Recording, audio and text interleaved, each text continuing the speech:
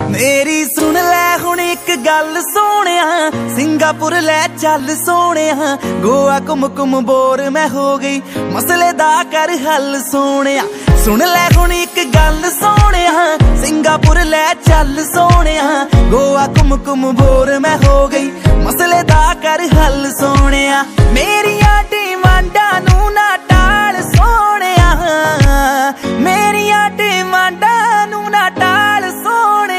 ਵੇ ਮੈਨੂੰ ਸ਼ਾਪਿੰਗ ਤੇ ਲੈ ਜਾ ਤੇਰੇ ਨਾਲ, ਸੋਹਣਿਆ ਸ਼ਾਪਿੰਗ ਤੇ ਲੈ ਜਾ ਤੇਰੇ ਨਾਲ, ਸੋਹਣਿਆ ਵੇ ਤੈਨੂੰ ਰੋਜ਼ ਰੋਜ਼ ਕਹਿੰਦੀ ਤੇਰੀ ਜਾਨ।